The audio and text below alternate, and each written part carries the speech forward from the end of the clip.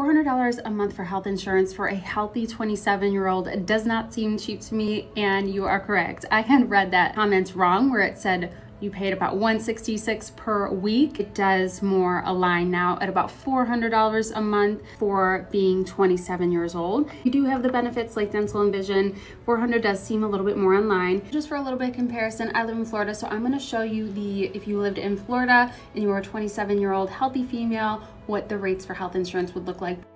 This is an Obamacare Florida Blue, which is Blue Cross Network, 385 with a $0 deductible. More Obamacare plans with Ambetter 370, Oscar 370, both $0 deductibles. Also, I want to note a lot of these don't have dental and vision, as well as smaller networks such as EPO or HMO, which are really going to just limit you to the state. This is a private health insurance plan with United Healthcare. It's 357 a month with a $0 deductible, and this one has dental and vision.